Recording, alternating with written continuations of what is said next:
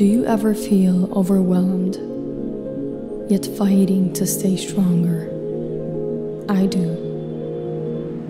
Finding calm in a chaotic world has always been a challenge. Everything seems to be moving so fast.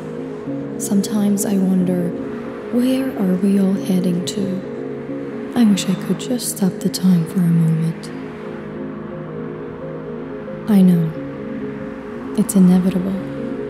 A part of me belongs here.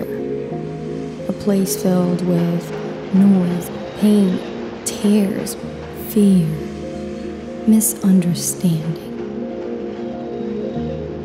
Why? Why do I feel the way I feel? Hmm, perhaps it is because I think the way I think.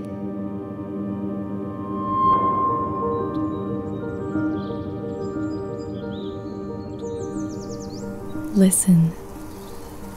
It's my favorite sound in the world.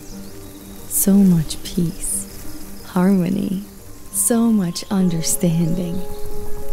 I would stay here forever.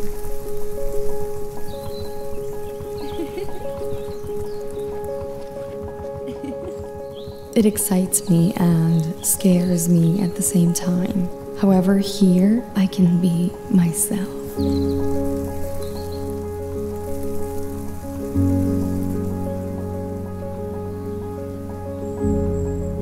Being happy doesn't mean that everything is perfect.